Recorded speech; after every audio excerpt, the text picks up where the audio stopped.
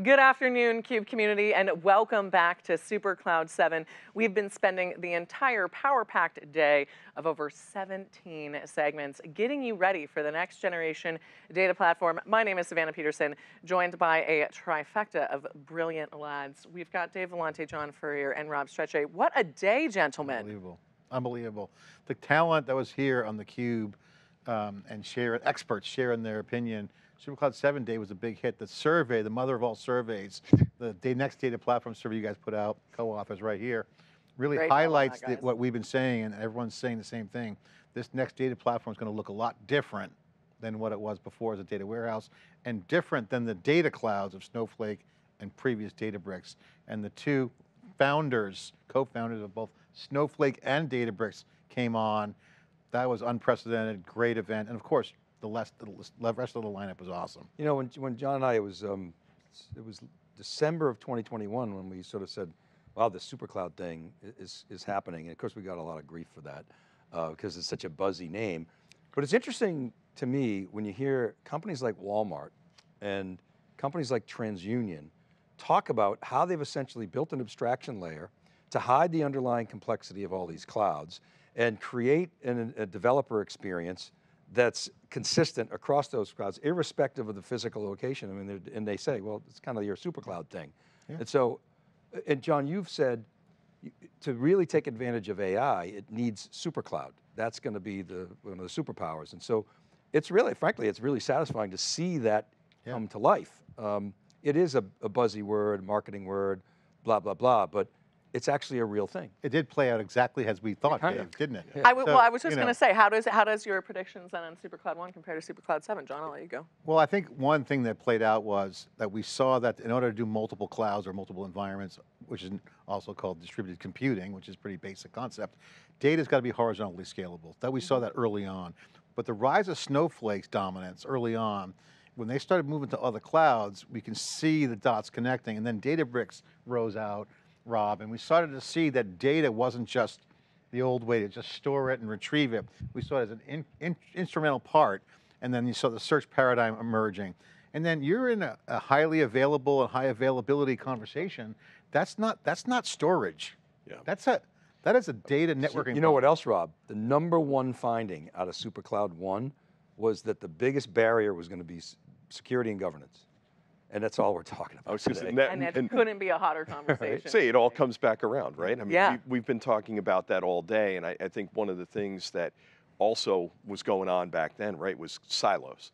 Yeah. And how do you break down those silos? And I, I think right now, when you talk about the open table formats and what people are looking at, it was, I don't want, SuperCloud was, I don't want to be locked in to one cloud. And open data formats and with table formats is kind of looking and pushing in that direction as well.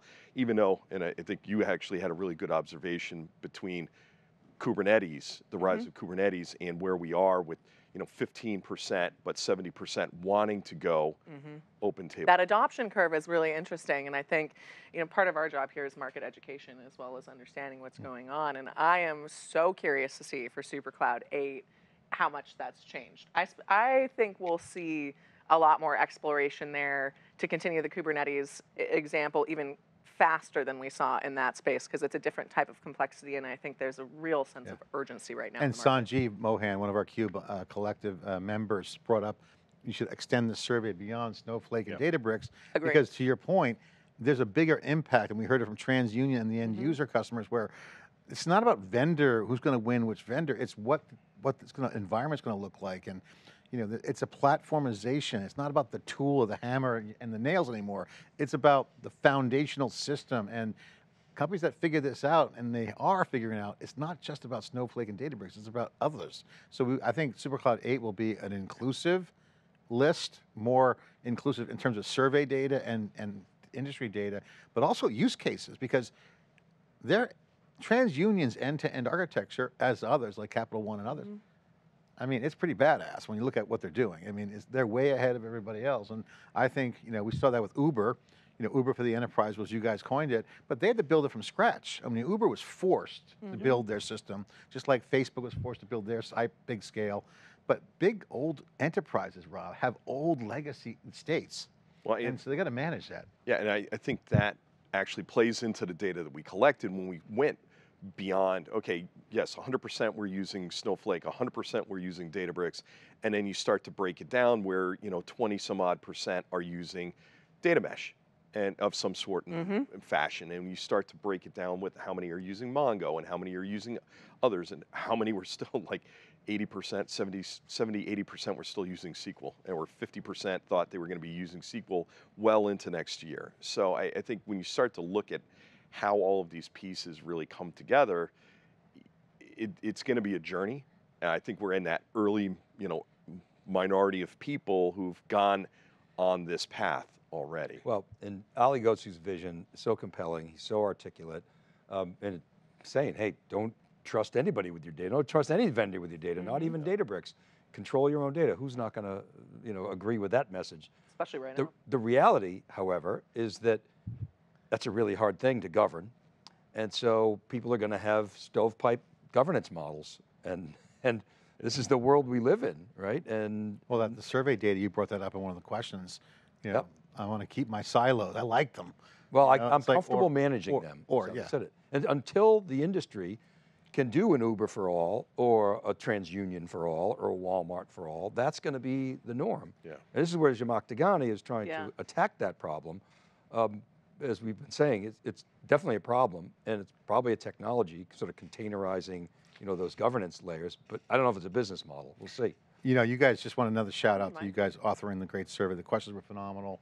I know there's some made it on the cutting room floor. I should have been in. I'll weigh my concerns later. But I want to call your attention to one of the questions on there.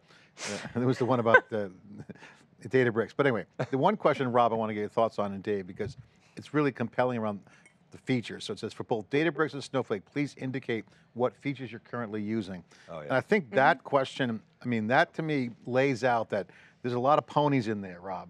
Yeah. Like there's a horse in there somewhere. Who? That's a lot of features. So the diversity of use cases to platformize everything.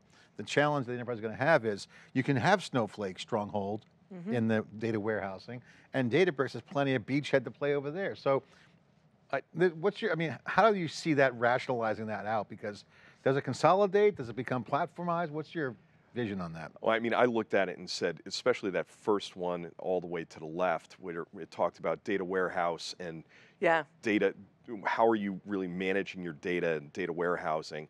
And it was very close, closer than I thought. That one actually So You're surprisingly high for Databricks. Correct. Yeah. Correct. I thought Snowflake was going to run away with that one because uh, Mm-hmm. although we know Databricks is growing pretty quickly, and you guys can comment on that, but when you start to look at how much room they've made up or are perceived as a really good data warehouse, which was literally synonymous with Snowflake. Yeah.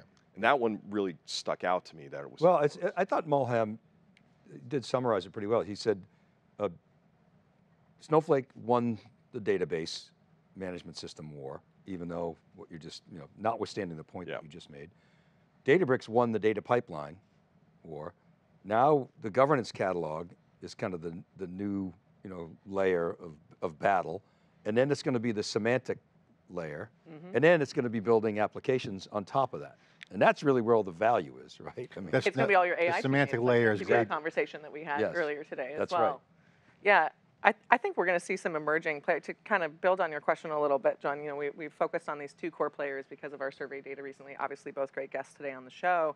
I think there's a lot more players and a lot more things in this ecosystem, and I don't think we know who the who the champions are. I don't think we know who the FANG companies are going to be in this new orchestration of Who's the Magnificent Seven in data? exactly. That, there's two people now. Well, Oracle could be in there, Dave. Yeah. I mean, they got a database. I- what I- happens to MongoDB? I heard somebody on TV recently saying, you know, we might not ever see any kind of startup emerge because these big hyperscalers are just going to buy them. I don't buy it. I, I think we are going to see, you know, we talk about cloud native. I think we're going to see AI native companies emerge that have completely streamlined their processes. Um, you know, we're talking a lot about agentic AI and agent. There, we're going to see companies built with one tenth the number of employees, and they're going to move so fast. They're going to be so efficient, and they they are going to disrupt. Will they get bought? Yeah, some of them will, but some of them are going to do what Zuckerberg and said. exactly you want a billion dollars? No, I'm not going to take your billion dollars. I'm going to build the future. Well, transforming always- data yeah. and ETL, for instance, that category could go away completely. Google's saying they're doing automatic pipelining. Y- There's a- I mean, Rob's shaking his head. I'm saying, I, I don't know. like I- firewalls, uh, they'll go yeah, away. Yeah, Yeah. like mainframe, because mainframe's got. Oh, oh, no, it's actually part of AI now. So. Yeah. But it was look at it. interesting to, to Moham's point. If you look at that data, the data engineering stuff, all the pipeline stuff, Databricks definitely dominated. You know, a lot of the reporting and the BI, you know, was Oh, sort of Okay, let, well, let me ask you, got your, you guys this question. In that list of features, we've seen this in every inflection point Yep. when things get platforms, whether it's the internet and the web, mobile, whatever. Features aren't companies or categories. Question is, of that list, what goes away from a categorical perspective or as a company? I, I know certainly trans, transformation data and ETL won't go away, but does it get subsumed into something else? I think it gets decomplexified. Yeah. Absolutely. So Yeah. and, and all these companies and doing if it it doesn't, then those applications won't. Well, it just won't. It, it won't. I mean, so this all comes. I mean, I, I love that a big backbone of what we talked about today was the developer experience. People are going to want it to be less complex. They're going to want it to be easier. They're going to want it. Going to want it to fit in. And to your point, Dave, that you just made about less people building more faster and it not necessarily being a, a hyperscaler who is the hegemon in this particular ecosystem. I mean, we, when we talked to Johnny Dallas at Z at each one of our cloud native cons, uh, he he. I love the fact that sticks out to me so strong, particularly right now, is they are seeing teams do with three that used to do with 300. That's a really big difference in capacity and innovation and what's possible, and particularly with some of the stuff that's open sourced. I was just looking at the latest from CNCF earlier this afternoon, and there's a whole bunch of projects in in the FinOps space and in financial security. We're mm-hmm. talking to TransUnion. It's all really relevant, and if some of these products, you know, if, if smaller teams can do more, if some of this open source stuff comes together, it's going to be whoever optimizes this experience for developers so it's just as smooth as working on anything else that we've built in the past. Yeah. Well, great point. And TransUnion came on to validate the Johnny Dallas point because whether you're a startup of three or 30 or 300 like TransUnion, TransUnion's got 300 engineers for their true dev platform. Yep. If this was not the cloud at scale, that'd be 3,000 engineers because mm-hmm. You know the ability to be more optimized. I mean, remember the old days? The big insurance companies would have like 5,000 developers. Yep. 100%. Like Yeah. now, You have to. 300 And a none huge of those number. applications that they built scaled, Yeah. right? No. Yeah. And then people started building applications Mm-hmm. on top of AWS, and you know they got the marginal economics, Yeah. you know, behind them, and then boom, you had Yeah. I- I new mean, companies formed, But I think that that's- like that's Workday. well, you start to look Yeah. at it, and I think it goes back to there's always going to be people innovating around the edges of what's going on. And to your point on, John, on features going away, I, I think that things like data mesh, I think you'll start to see them like people like Dell are doing with their Dell Data Lake and people like and Ezmeral at HPE and others where they're taking different pieces of it where they have the underlying infrastructure because at the end of the day this either has to live on cloud or on prem and by the way as we talk about with the power law distribution of gen ai that long tail when you start to look at inference and things of that nature a lot of that may be at a cell tower. And that's not necessarily a cloud strength is being out at that cell tower even though they you know google announced their little little cloud ai thing to go out to the, that now i mean And Amazon has its edge Outposts. strategy. yeah, and- and snow. I mean, everyone all has a strategy right now, whatever that might be. But I, I think again, it goes back to that. I think there's going to be a play still in that long tail, and I think that the the to your point on you know we have two, where the other five you know FANG companies coming from you know for the magnificent seven of data. I, I think they still haven't been defined. I think there's a lot of acquisitions and mergers that are going to happen. I this think the acquisition, I think Snowflake is going to be on an acquisition binge because what I saw from Benoit's interview here, uh, clearly, you know, Snowflake is, is gold standard, high quality product, great customer base, very loyal, but they're dying in this survey. Um, you know, when they say Snowflake is very likely to dominate the market in ML AI, 3%. Uh, when they say Snowflake is That's somewhat uh, likely to dominate the ML market, 18%. And then 30% of the survey said Databricks and Snowflake are roughly equally matched, but yet 38% that said Databricks is going to dominate the AI. So if the AI horse doesn't come in, Dave, then Snowflake is going to survive and thrive. if it does, Snowflake has to act, and clearly they're not winning the mind share of developer community. I talked to Frank. Databricks is blowing, blowing them away in the marketing. So I talked to Frank Slootman about this, but it was right after, so Databricks bought Mosaic, uh, and then um, Snowflake bought uh, Sridhar's company, uh, was it Neeva? Yeah. Uh, and- and, and Frank Slootman said, look, it's all about this. Yeah, we're paying a lot of money for these things, but it's all about getting the talent. Yeah. Because there's only so many people out there that can really drive this, you know, Gen AI wave, and you got to have them in house. And Ali said that the tabular act was when you asked him, Huge. he said on camera today, Yes. live on the keynote, he's merged the, the best talent on both teams. yeah, I mean, Delta the- Lake for and UFI. What the guys at Iceberg have done is, I mean, Ryan Blue will take you through all the detailed stuff that they built, and they're like super alpha geeks and did a Yeah. fantastic. They would probably love that you just called Yeah. them a super. Yeah, I mean, I mean geek. that yeah. as a compliment. I know you Yeah. do. They should come on. say, they should a come on Super Cloud great next eight. Super Alpha Geeks should come on the Super Cloud eight. we could have a hall of fame of super alpha geeks. Was there anything that surprised anyone today that you weren't expecting to hear? I was surprised with Dipti from Microsoft and how much progress Microsoft's made on some of their data. They are well beyond where I thought they were on open data. They're very much, and I felt authentically that they had that posture. And Satya Nadella, if you remember our first, well, when Open Compute started many years ago, we were there when it launched. We helped uh, form that organization with Facebook and Microsoft donated all their open source. And so we were present at creation. Remember, Microsoft donated a ton of IP to Open Compute. Guess who was in charge of that division at that time? Satya Nadella. He was yet not the CEO. Ballmer was still the CEO. So Satya Nadella has open source in his veins. Facebook too, part of that. Facebook and Microsoft made Open Compute. Of course, Intel kind of donated some stuff too. Arista was there, but that was that was just all infrastructure nerds. Microsoft donated that. Now I see them with the Linux movement. Now with Gen AI, internally, she said they're all open, open data formats, and it makes sense. That's a good What- strategy for them. What surprised me was Ali Ghodsi's surprise that people were freaked out at what they did because he just like totally. Uh, I think he said. changed the I think he meant Snowflake was freaked out.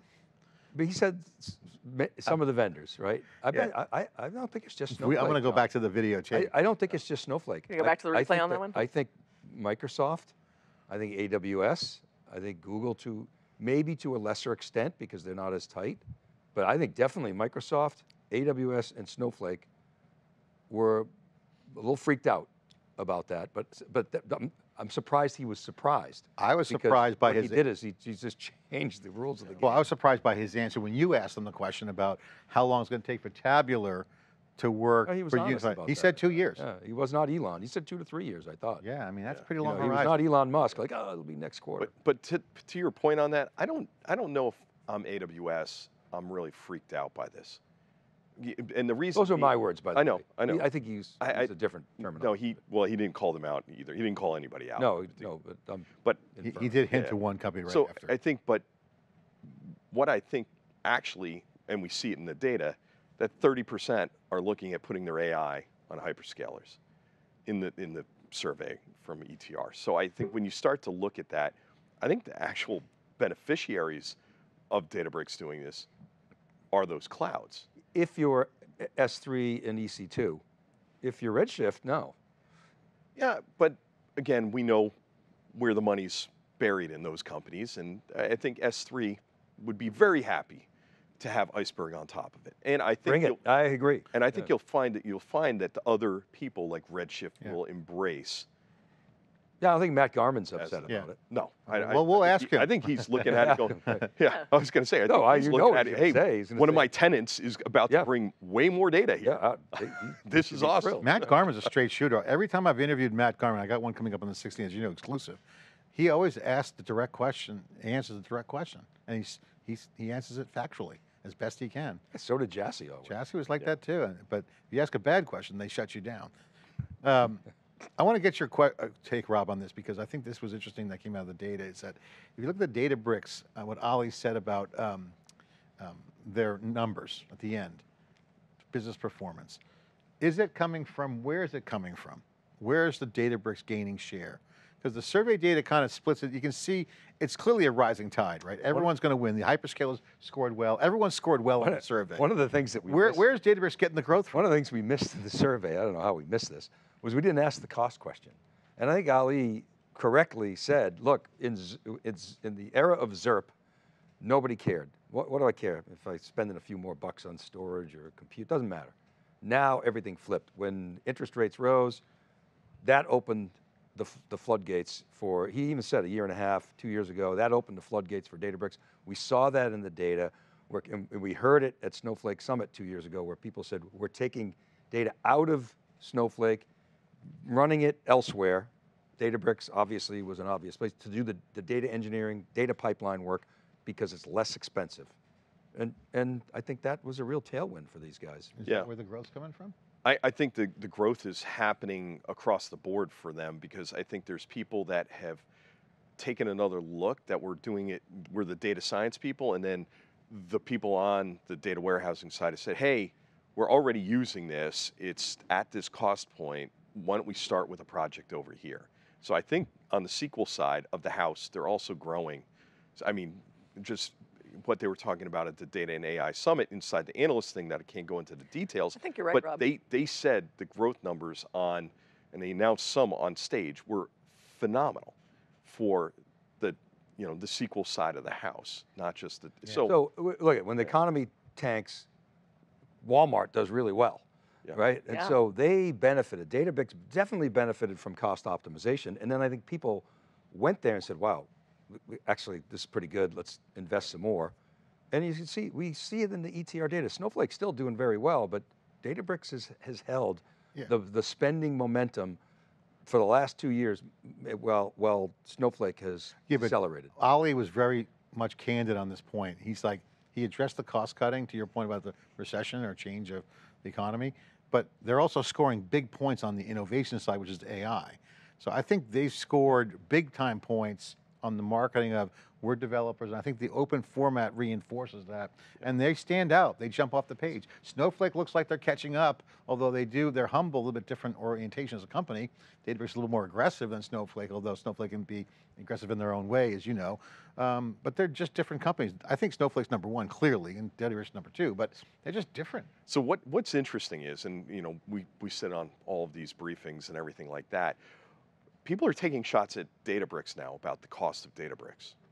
Interesting. like when you see when I- and I, I'm think I believe the numbers that were out there. I, I saw some from Oracle when they talked about doing certain workloads, and I, I think for me, to there are I think everybody's got rough edges, and I, I think what you Speak have for to, yourself, Rob. Well, I, I, got, I don't rough edges all over the place, but uh, when you start to look at all of this, the cost the cost could be greater in certain instances using Databricks versus I I think what they showed was cheaper cheaper on Oracle, of course. Uh, it was more expensive on Databricks and even more expensive on Snowflake in certain instances. This is Oracle data? Yeah, it was Oracle. Yeah, I mean, data. so I, I think, and it was Oracle running. has an interesting, you know, perspective on the market. and Guys, that's why- we didn't talk about reasons they're Vast doing at so all. well. Vast was up here saying, Yeah. hey, data lakes are more expensive, but with Vast, Mm-hmm. they're cheaper. Do you buy that?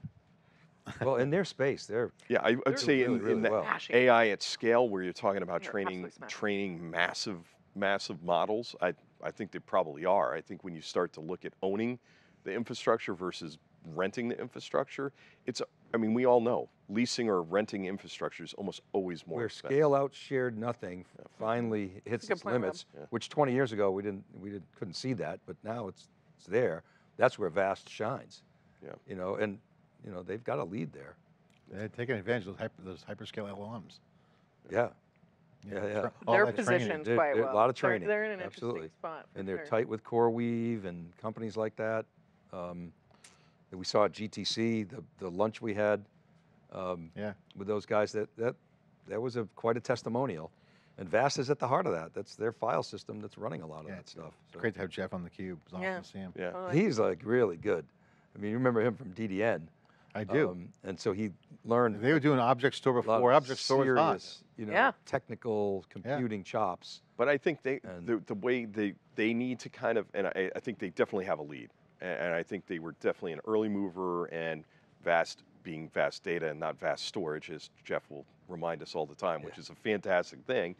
I, I think when you start to look at the other ones with coming out with DGX superpods and they're superpod certified and things like that, I mean, you you have the others out there like Dell and Weka and Hammerspace. Mm-hmm. you know, and NetApp with the E series and stuff like that. So I think there's others playing in that space. Are they going to have as I, I think it's yet to be seen who wins in that part of the market in the infrastructure. And I think to your point on SuperCloud 8, and I think uh, Su- uh, Sanjeev was even talking about this. When you start to look at the infrastructure underneath these, I think some of those people are going to be part of this, you know, magnificent seven of data. I thought Jeff Denworth's comment, John, um, we tried, and Rob, you were on that interview too. We tried very hard not to be disruptive, which I was like, whoa, wait a minute, you're like totally disruptive to the competitive landscape. But he meant Disruption. to to the processes To the that, that customers. Yeah, the- downtime. Yeah, right, to the user exactly. experience. Yeah, which And is, uh, it that struck was me too. that was striking. Yeah. Well, and it's and it's smart. It's exactly what I think a lot of early stage endeavors. It doesn't matter if that's a small company or a big company. Miss is they think they're trying to solve the solution, not for the people that have to solve the solution with the tool. And when we miss that little link in the chain, you've got a bunch of you know startup graveyard or idea graveyard or spending graveyard that's pretty savage. Yeah. So no, I, th- I thought that was Don't- cool. We heard a lot about that when we were talking to uh, Kubiya earlier as well, and definitely core to the conversation. All right, I got a question for you guys because this has been a fabulous day. And we could probably talk for the next 45 minutes about everything we learned. Since it's going to be coming up, I'm not sure what our dates are. I'm sure somebody knows. SuperCloud 8. What do you hope to be able to say when we sit down at SuperCloud 8? Or what do you expect to be able to say? What do you predict we're going to be able to say that we can't yet say at SuperCloud 7? So we first of all got to pick a topic, right? And it's probably going to be, you know, back to AI. I think what I would like to sit, be able to say at the next supercloud is that Gen AI is starting to throw off measurable, meaningful, tangible ROI slash cash that's becoming self-funding. Yeah. Um, and I- I'm not sure we're going to be able to say I that I don't know. If we're- I think that's a great this year. perspective. Da- you Yeah. know, yeah, a- a- a- But- that'll be a really interesting milestone, I think, for the entire industry and and movement. We're in the to see Lyft driver zone right now. We are, That, little yeah. vacuum between Yeah, the old and the new. yeah, yeah, We absolutely are. It's a little unsettling. It- you well, it's, it's intriguing. I mean, It we makes love our- it as a It makes our jobs fascinating. Rob, what do you think? Yeah, I, I think I'm hoping to hear that people have figured out the terminology around agents and what, and like we have some sort of hierarchy, either we put it together or with some of the other fantastic guests we had on here put it together because right now I think people are getting, they had enough, a hard enough time wrapping their head around Gen AI and now we're throwing agents at them and agents and you know networks of agents that are working together and those are data products or are they not data products and they're working with data products and oh there's also ai over here. So i, I think whole taxonomy of this to make it simpler because right now there's a lot of confusion. Yeah, I actually like that Kubiya's branded it as AI teammates. yes. I think that actually makes sense because when you think of an agent, it in my brain, it's limited to a, a CS agent or to something that's more, you know, I think where the, the normal consumer mind yeah tends to go is, is in that direction. John, what about you? Your prediction? Uh, I think SuperCloud 8, we're probably going to be talking about that everything we talked about today, nothing actually happened. I think it's going to be a slow process between what we're saying today around this next layer, um, because I think it's what we're talking about here is so radical. Only the the top people will still be innovating. I think the conversation on SuperCloud 8 will be, okay, what's my architecture look like? And it'll be more about where are we with the compute and storage and networking. The infrastructure will still be pacing, so we'll probably have it this year. So in this calendar year, I think we'll see movement towards the semantic layer conversations, but I don't think the needle moves much. I think it's going to still be kind of like people trying to figure things out, but I think it's going to go right back to where are we with the silicon? What's with this clustered systems? How do I organize my vast? What's my namespace look like? I think those conversations will be there. I think the surveys will kick into more directional, like sentiment around strategic intent. Which workloads we'll be working on, and then who am I going to bet on? Which vendor, which supplier?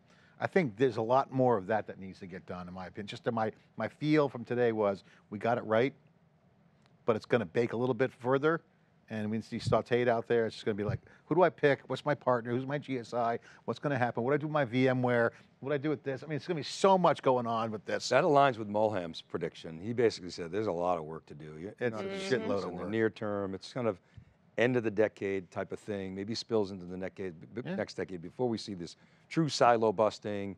You know, simplification from the developer experience. Uh, We're a ways away from. This survey, and why I call it the mother of all surveys, because what Ali Ghodsi was so excited to be on the cube was not only did the data make make them look good, it made everyone look good, but he was even more positive because it does validate what he's been saying for years and what we've been saying on the cube. So to me, this event uh, is significant because SuperCloud 7 was the first time with the survey data that you guys co-authored was pointing real evidence that this transition's happening, and that is huge. And it's only it's only going to get more. So SuperCloud 7, we're going to be we're going to be 8, we'll be getting more data.